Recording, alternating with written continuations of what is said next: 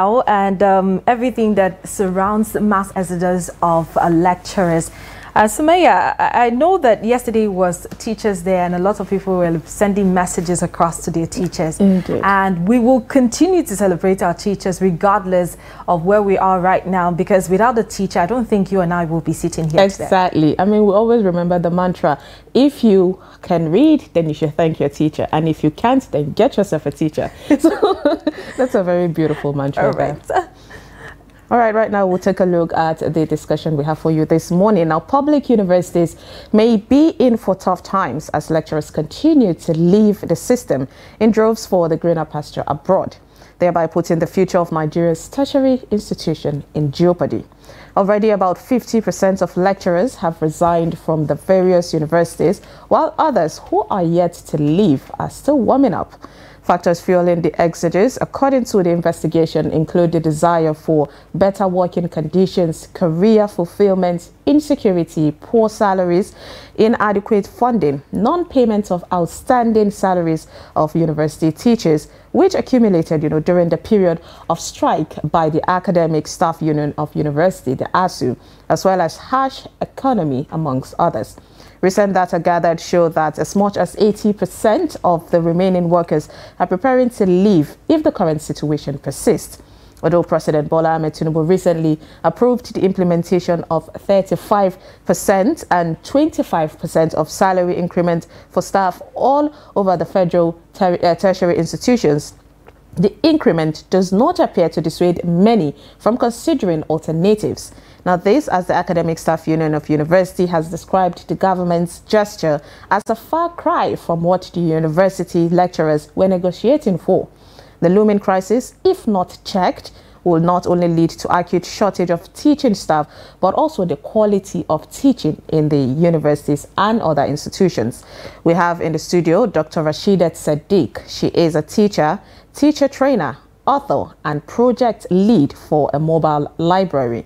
Joining us via Zoom is Dr. Abubakar Umar Kari, Associate Professor of Political Sociology and Dean of Student Affairs, University of Abuja. We also have Malam Yusuf Oriomi. Malam Yusuf is a founder and chief learning officer of Voyage International School, Abuja. Good morning, gentlemen and lady, for joining us. Good morning. Right. It's a pleasure to have you join us on the program. So let's talk about, you know, the exodus of university lecturers, you know, abroad, uh, you know, uh, trying to find greener pasture. So Dr. Rashidat Sadiq, tell us as a teacher, a trainer, what is your take on what's happening? Okay, so I'm going to bring it down to my level. Currently, I work in the primary and secondary sector. And this exodus is not limited to the universities. Teachers are leaving for many reasons. And I think you alluded to a number of them. The fact that the pay is not what it should be, and the fact that the working conditions are not favorable. So if you are someone that is brilliant, you want to show and you want to experience the best. But if you're not getting that where you are, you're going to look for where you can get it. So that, in my opinion, is one of the key reasons that people are leaving. Mm.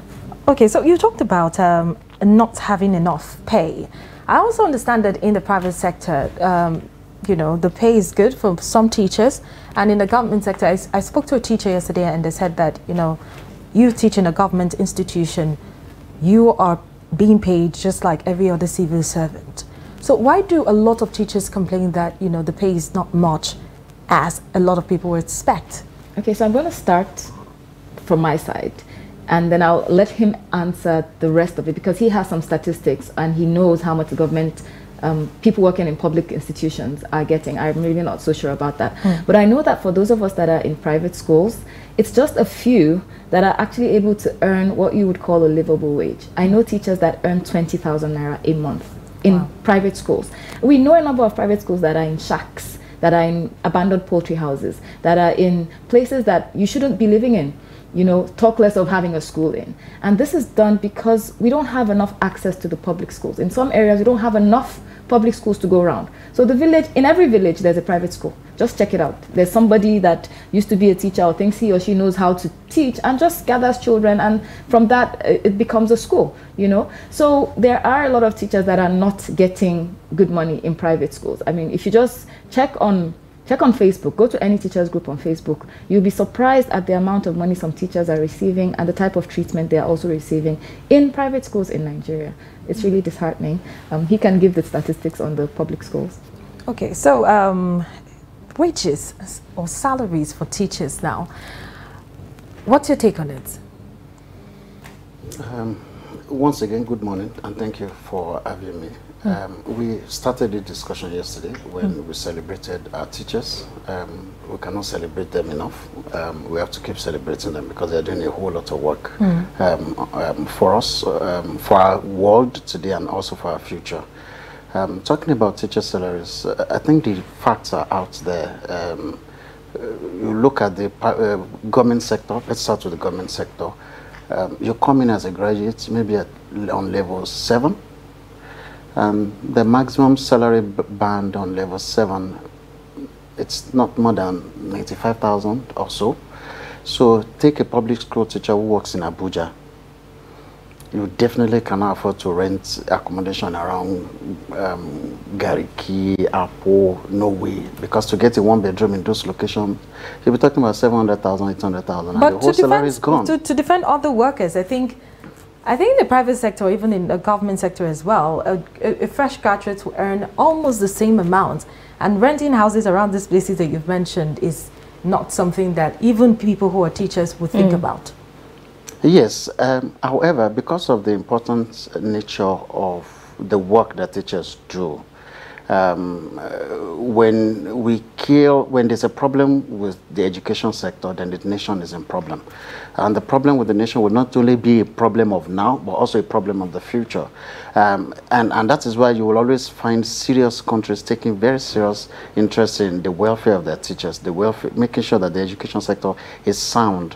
Um, I agree that there are issues in various sectors, I mean, of the economy, but we really need to take care of our teachers. Hmm. Um, Can I just pick up a little bit from what he was saying? Now, in a school, a school teacher needs to be in school every day by 7.30 because school starts by 8. But in other government parastatals, you find that they get to work by 9. Some don't come every day. Some can afford to come three days a week. I know that's not the ideal, but I've been to some parastatals and I know how we operate just to help each other. But a school teacher cannot do that. I can't say I won't come today because I want to save on transport. Now, most people are living on the outskirts of Abuja. They need to come in. If you're posted to a school in Wuse and you're living in Suleja, you need to come in every day irrespective of, of whatever. But if you're working in another parastatal, you can run shifts with your colleagues. You know, it's easier to do in other places. So for teachers, we really need to maybe look at a different scale for them, and we need to encourage them to stay because we, we're talking about this issue. There's a problem. Indeed, indeed. All right, uh, let's talk to Dr. Abubakar uh, Kari uh, via Zoom. So, Doctor, what is happening uh, in the university system right now? Because you are an associate professor. So, what is going on?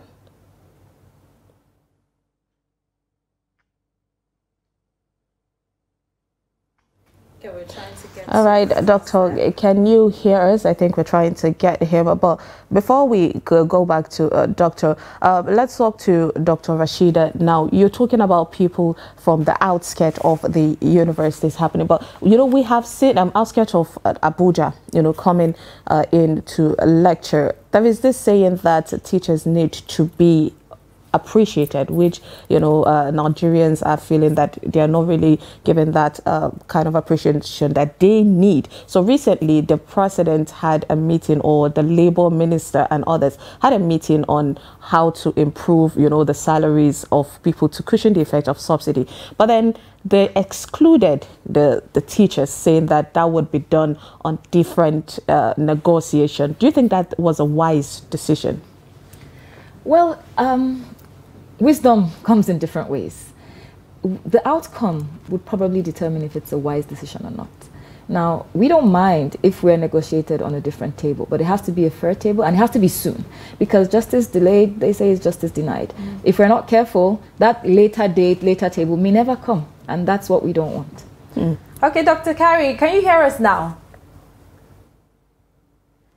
Good morning to you, Dr. Kari. Yeah, good morning. Thank you for having me. It's good to have you join us, uh, even though I haven't seen you for like some time now. but it's Teachers Day, so we celebrate it. But straight to the question now. public universities may be in tough times, according to experts, and um, there have been mass exodus of lecturers and it's going to affect, according to experts again, it's going to affect the university system in the country if we have mass exodus of lecturers. How bad is the situation, Doctor? Yeah, it's quite bad. And I think the best way to put it is that uh, there is massive and pervasive disillusionment, disenchantment, frustration, and anger sweeping around the campuses. Uh, public universities uh, since the outcome of the last ASUU strike. Okay, uh, that's the end of last year. Uh, lecturers generally are feeling very, very despondent. Uh, we have come to the conclusion that indeed, not only the government, but even the public do not really care about the university system.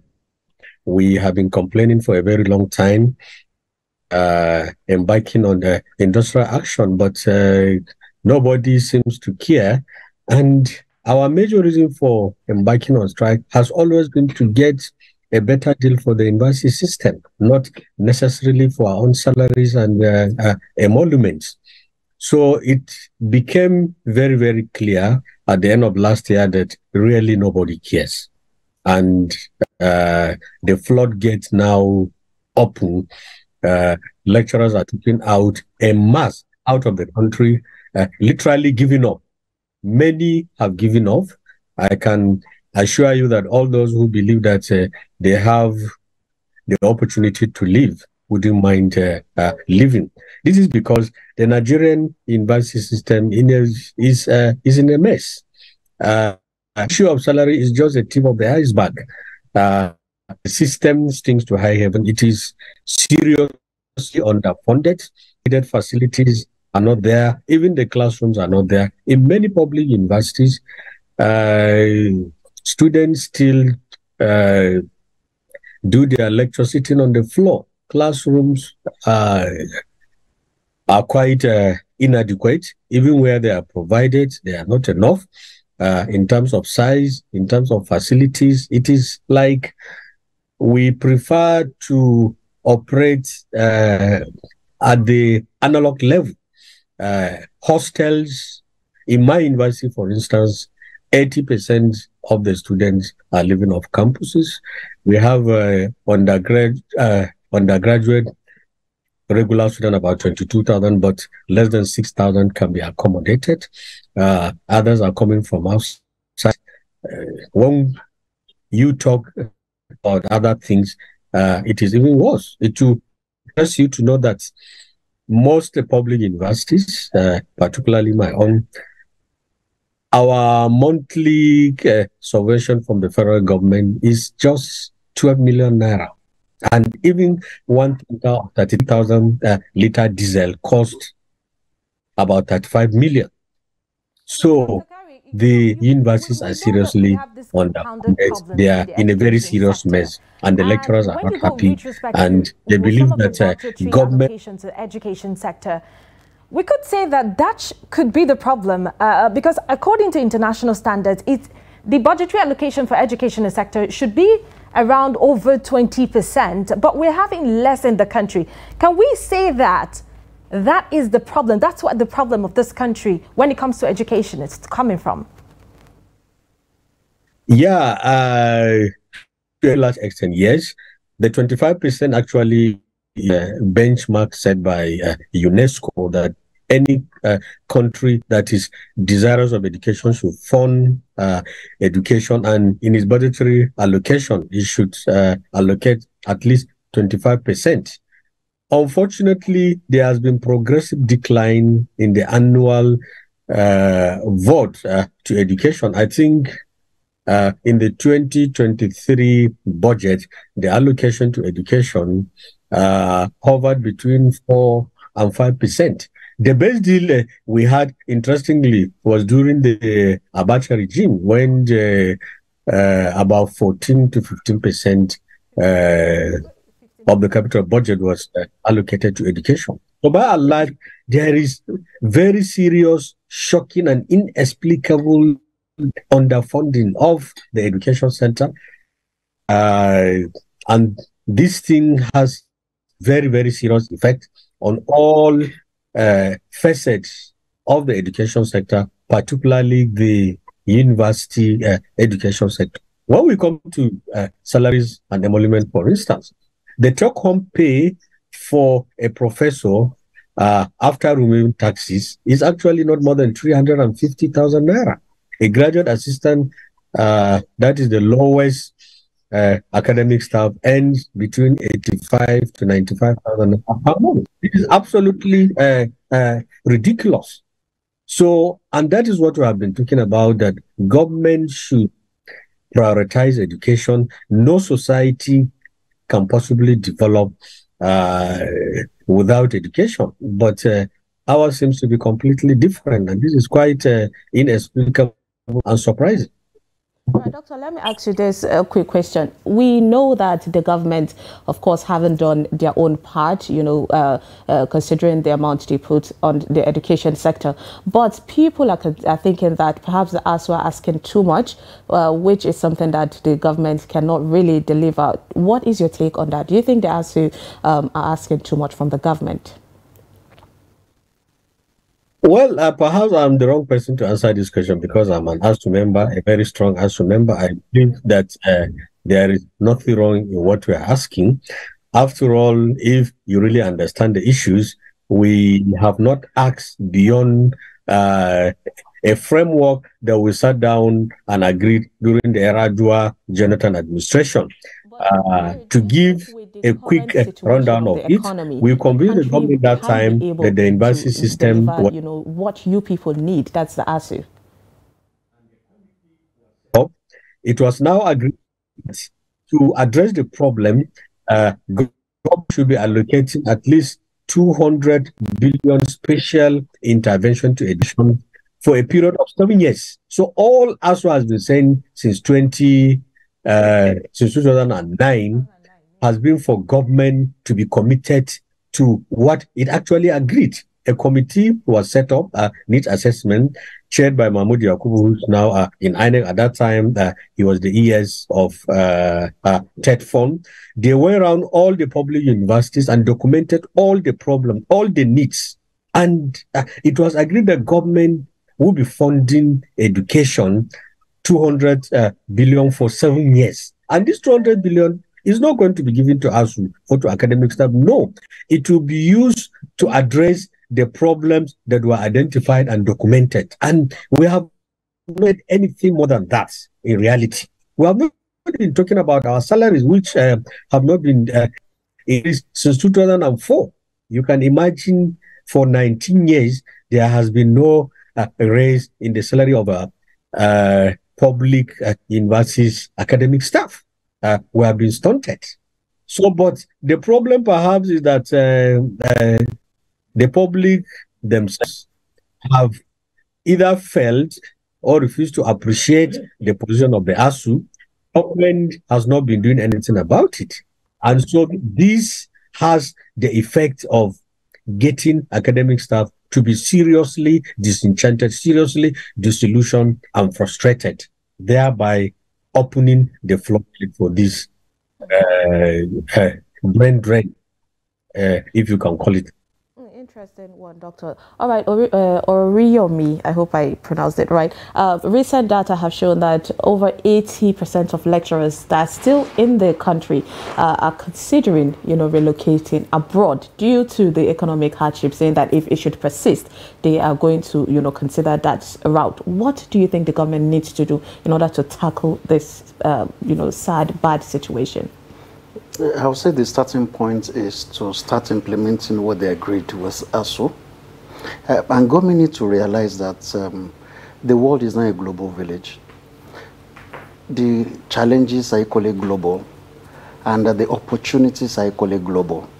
So, um, if there's opportunity in Canada, because the world is not a global village, you find somebody who is here moving to Canada to, to take leverage on opportunity. Um, we all acquired our education and our skills because we want to better our own lot. That is a fact. We want to improve our social economic standing in the society.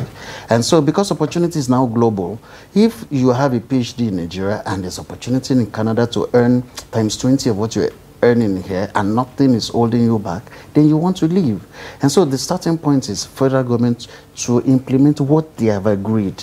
And governments, the present day government cannot say, no, we did not agree to that. Government is, is a continuum. So whatever the Yar'Adua and the Jonathan government agreed to, and perhaps the last government equally agreed to, then the government, the current government must implement. That is just the starting point. And then other discussions will now follow as to what are the other things that needs to be done as well. Hmm. Okay, let's go back to doctor now. Uh, Dr. Kari, are you still there? I am. Yes, I am.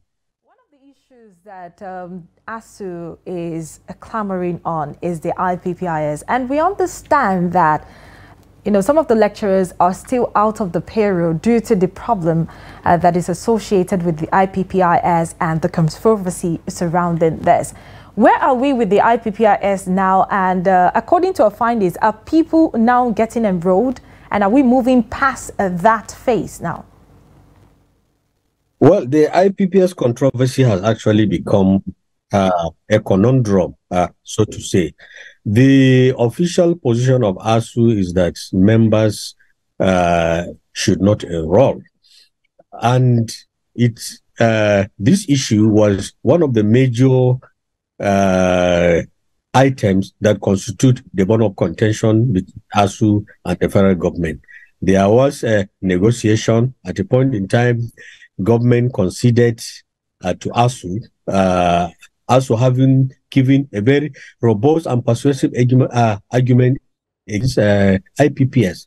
It challenged us uh, to develop an alternative uh, payment platform, which ASUU has done in the name of CONUAS, but the the coming up of CONUAS has not gone down well with some uh, elements within the government. So the issue uh, is still being contested. But I think the most important thing is to understand what really is ASUU's reason for rejecting uh, IPPIS. I think there are two or three uh, of them.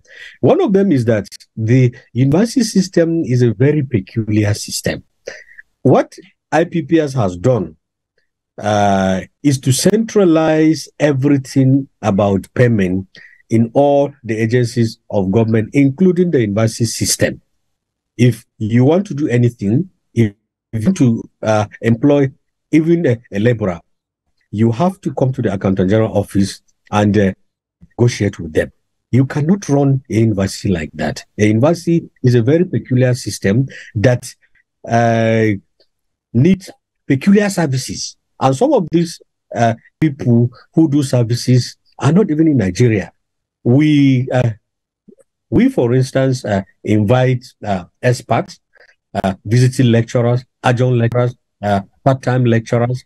We do things like external assessment, external supervision, and so on and so forth. All these things are not captured by IPPIS. So the, what IPPIS has done has actually been to cripple the university system so that if a vice chancellor in uh, Usman Danfodiyo University or University of Calabar or University of uh, Maiduguri wants to do anything, you have to come to Abuja.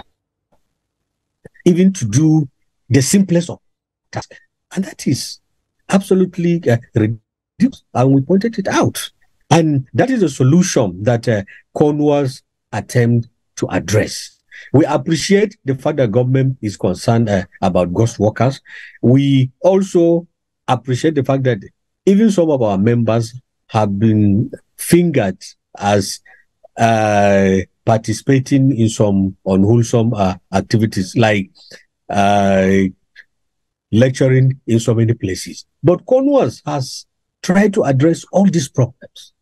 But because IPPIS is business for some government officials. There are people who brought IPPIS to Nigeria and they are making, I mean, they, they are getting commission for every uh, staff in every MDA that is uh, enrolled. So they are not ready to let go. And interestingly, it is not only the university system that is kicking against IPPIS. There are key government institutions that are not under IPPIS. The military are not under IPPIS. Uh, even the central bank itself, the National Assembly, and the rest of them. So why would you want to uh, uh, uh, uh insist that the university system, which has peculiarities that are recognized all over, to be tied to the apron string of uh, IPPIS with all the attendant problems. Hmm, okay. So the long and short of the story is that the problem still exists. Uh, it is like uh, an impasse. There has been no agreement. There has been no uh, common position, even though ASUU has uh, presented CONUAS and uh, government claims to be uh, studying it. And we're insisting that IPPIS is not the university system. Okay. Uh, Prof, hold your thoughts there. Let's come back to the studio, uh, Dr. Rashida. Now, a lot has happened. Now the teachers are saying that this job does not look attractive. If they get opportunity in any other country where teachers are valued, they might just pick up their international passport and jet over to that country. Now, what do we need to do? Because this is a collective responsibility now. It's not just left in the hands of the government. The parents, individuals, the children or the students these teachers uh, train have a responsibility to play. So what are some of the things that we should do now that we're commemorating Teachers Day to ensure that this profession looks attractive to the younger generation? Okay, so thank you very much for that. I think you're right. Like it's it's all over, right from the early years to the universities. Teachers are leaving in droves. Some of them are leaving the profession entirely. Some of them are leaving for other countries to continue to do what they know how to do best.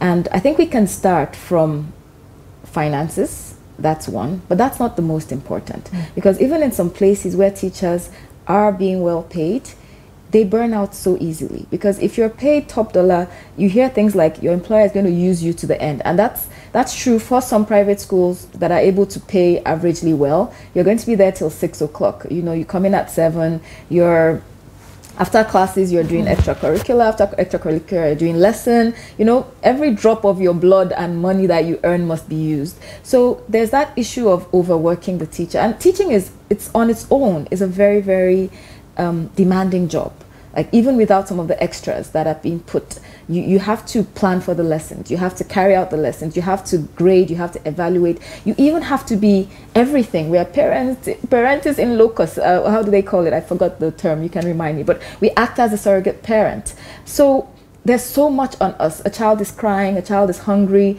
a child has other issues. You're a counselor, you're a doctor, you're treating scrapes and wounds. There's so much you have to do, and sometimes you're not appreciated. Which brings me to my next point.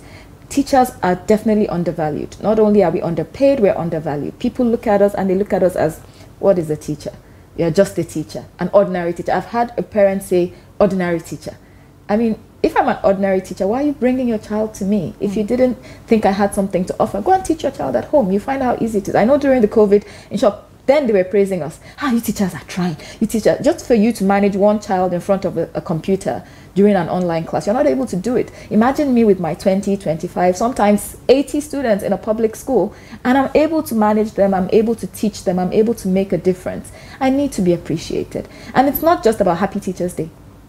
What can we do to make the teachers value? And it's not about giving me gifts. I don't need your gifts. But I need to know that's that on the part of the parents. That's on the part of the parents. Mm. I need to know that you're ready to work with me because I have some parents saying that homework you're sending is too much work for me. You are giving me your work to do. I need to know that you support me. I need to know that you appreciate me. There are things you say to your, your children at home and they come back to tell us. My mom said you are too lazy. That's why you did not do this something. You didn't mark my book. But you know, I'm not excusing teachers not doing what they're supposed to do. yes, we're supposed to mark at the right time and everything, but there's a way you're going to speak in front of your child that is already going to make your child look down on your on the teacher. Hmm. You know, as a parent, if you notice a gap, the next thing is not to groan to the child. The next thing is find a way to either contact the teacher or the school. So we need that sense of let's work together. We need that sense of let's appreciate the hard work they're doing. There may be gaps. What suggestions are you bringing in instead of complaining all the time? So Dr. there, there is a Dr. Lot. Rashida, uh, let's talk about uh, unifying the payment, the salary of uh, this. We've had situations of uh, some teachers saying that they are with the UBEP or is it UBEC? And then others are saying they're the local teachers. So when they are setting increments, some are, you know, the people from the UBEC get paid immediately, while the others, we don't know where the money goes to. It disappears. So what would you call, like, what should be the right decision that needs to be made in order to at least unify? Because there's been a lot of, um, should I say, rivalry between these two group of people saying we're doing the same job, but we're not receiving the same treatment. And it's happening even in the Federal Capital Territory. So what should the government do about that? Okay, so that may not be so easy for me to answer because I'm not in the public sector. Mm. And um, I'm not sure the reasons why, but the fact remains that when you discriminate, there's bound to be disgruntled elements, and that can backfire. So if there is a valid reason for some people getting more than others, they should let us know. And then they should find a way that the others that are doing exactly the same job, serving exactly the same government, can also be raised to that level. What is the reason for the discrepancy? And what can we do? Even in partnership with private organization, in partnership with world organizations to make sure, because these are things that make you not want to give your best. If you feel, well, those that they value are those that are being paid, let them work their heads mm. off. I'm going to just do the barest minimum. and these are things that make you want to leave. The government just needs to do okay, more. Let's let's, let's take um, Dr. Kari's uh, final thoughts before we let him go. Uh, Dr. Kari, uh, we are in a new administration now, and uh, we talked about the crisis and the strike that happened, that occurred last year, was in the past administration. Now we are in the renewed hope administration. Do you see a light at the end of the tunnel resolving the crisis uh, revolving around mass exodus of lecturers? And what can we do to solve the problem? Well, uh, we are hopeful, even though I must confess that so far I have not seen uh, any indication of that light anywhere. And uh, don't forget that uh, many, if not most, of the elements of the past administration are still very much uh, around. Before the election, the candidates made some uh, pronouncements, rhetorics, and so on so far, there is no indication that this government is substantially different from its uh, predecessors. But I, I also know that uh, talks are still going on. Uh, but my major worry has to do with the ideological underpinning of this administration. It is too capitalistic, sorry to say, in nature. They believe that charging fees uh, or leaving the universities, the public uh, universities, uh, to their own design is the solution to the problem. Our own is that, in as much as the universities need funding, education is also essential. Uh, education is a right. It is even in the Schedule 3 of the uh, Constitution, even though uh, so far it is not uh, actionable. But from the optics of the officials of this administration, uh, the president downwards, their solution seems to be to simply charge fees, uh, to simply surrender everything. I think that will create more problem that uh, it sets out to uh, resolve. Tinubu, I'm aware, made a commitment to ASUU, uh, but we are getting worried that five, six months after, uh, nothing concrete has been done. But we take solace in the fact that the government perhaps is still trying to uh, find its feet. And if and when uh, it does, uh, probably it will begin to look at issues uh, differently. So we are hopeful, even though for now there is nothing concrete on All right, let's come back to the studio. Thank Quick you, one. Yes, uh, Ori. Let him go now. Okay. And uh, Dr. Kari is an associate professor of uh, political science from the University of Abuja. He is also the Dean of Student Affairs. Thank you so much for sharing your uh, thoughts with us on the mass exodus of lecturers in Nigeria. Thank you so much, Dr. Kari. We hope to see you again another time on the program. Thank you for having me. All right, let's come back quickly to Oriyomi. Um, uh, a university a lecturer uh, in UNILAG said that 70% of the good lecturers have gone, you know. So what would the impact be on the quality of education in Nigeria? Um, the impact is obvious already. Mm. Today, you have graduates that cannot write a simple one-page essay. Um, ask a typical employer, they will tell you they've had to design um, 90 days, four months crash courses to teach basic English language and to reskill the people they are, they are taking in. Virtually every private organization, and so the result is here. We're all battling with it. Um, the standard will keep dropping. And to speak to the issue of the locum, it's not only uh, with teachers that you have locum teachers. You even have them in the hospitals. You have locum doctors, despite the mass exodus of doctors that we have. So today in Nigeria, you still have doctors who are still on locum. The bureaucracy to bring in fresh hands into the system, into, into where there's a need. The bureaucracy is too exhausting. And so people who want to find something to do, they just take the locum that is available. Of course, you know what happens to the morale when when you see people you're doing the same job earning like times two or times three of what you're earning. Mm. Uh, you know, so that is it's it's a big problem. Indeed, it is. Well, thank you so much for joining us this morning, Malam Yusuf uh, Oriyomi, for joining thank us, uh, the founder and chief learning officer of Voyage International School Abuja. Thank you so thank much you. for joining us, and thank you so much, Dr. Rashida Sadiq, a teacher, teacher trainer, author, and project lead for a mobile library. Thank you so much for joining us. Before we go, I just need to say that you know some people have been saying that I cannot marry teachers. I we had a podcast, Daily Trust podcast, mm. about a teacher who has gone to five families and has been rejected because he's just a teacher. Interesting. Please, let's. The stigma is too much. We shouldn't um, um, encourage that. We're celebrating teachers, so all of the factors. There's no factor that you can actually push aside. It rubs off of all of us, not just the teachers as a society. And that's where we will draw in our curtains on the discussion segment of Daybreak this morning.